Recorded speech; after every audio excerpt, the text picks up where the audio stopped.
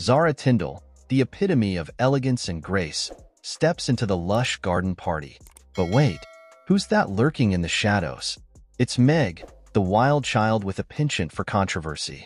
As the champagne flows and the sun sets, tensions rise. Class clashes with trash, and the fashion battle begins.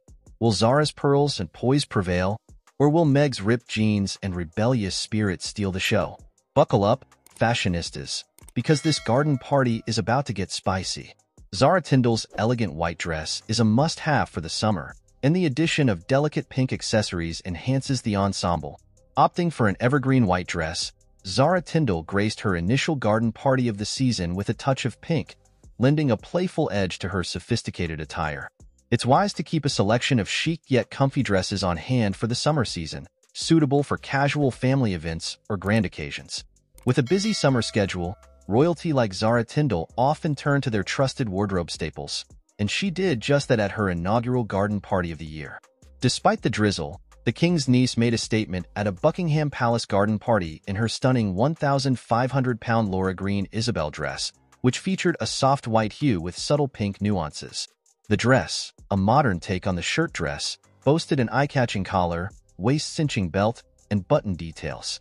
Its short puff sleeves added a touch of femininity, mirrored in the dress's design with a snug bodice that gracefully transitions into a flared skirt. The midi-length belted shirt dress, complete with a coordinating waist belt, exudes elegance with its fold-down collar and short sleeves, all crafted from a linen blend material. For those looking to invest in long-lasting footwear, a pair of pink heels is ideal. Their shorter heel height is practical for daytime wear, and the soft clay pink hue is versatile and effortless to match. For an affordable yet charming touch, consider a straw hat to introduce a burst of pink to your summer looks. The fedora, crafted from straw and adorned with a classic tan band, is a timeless accessory. The fabric's subtle luster, paired with a faint pink undertone, culminates in a dress that appears deceptively simple yet is undeniably white. Having previously donned this dress at Royal Ascot, it's clear why it remains a favored choice for Zara. The white dress's versatility makes it an indispensable summer piece, with its neutral shade allowing for easy pairing with various colors and the flexibility to dress it up or down effortlessly. At a royal garden party, Zara Tindall opted for an elegant look. She chose pink suede court shoes by Emmy London, cleverly attaching clear heel protectors to prevent sinking into the grass. The shoes perfectly matched the pink buttons running up the front of her dress and her Emmy London clutch bag. These subtle pops of pink added a touch of fun without overwhelming the sophisticated ensemble. Zara continued the pink theme with her Rosa Boater hat, designed by milliner Sarah Cant. The hat featured a lace-like pattern around the rim and a ruffle adornment. Completing her outfit, she carried an essential umbrella to stay dry during the outdoor event.